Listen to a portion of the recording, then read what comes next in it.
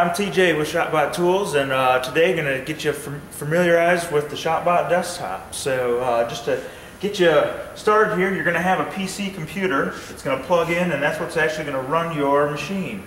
So, when you get this set up, these are the first few terminologies that you're going to want to need to know before you start moving the machine around. So, first thing is you have a big guard, a big shield here. It keeps the dust in, keeps your fingers safe and this can be removed for getting in to access your machine. So the desktop actually has a cutting surface of 24 inches in the X, 18 inches in the Y, and 4 inches of travel in the Z. So um, we'll be able to fit a, a piece of material on here up to that size.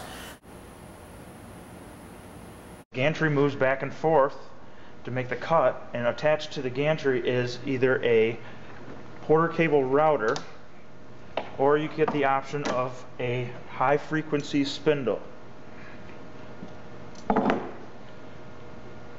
Uh, there is a guard that goes on to protect and keep fingers away and parts from getting into where the cutter is.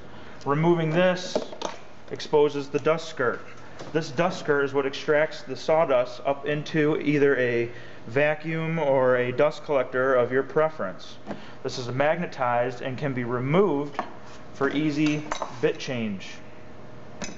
And these are really the basic parts to getting a terminology for the ShopBot desktop.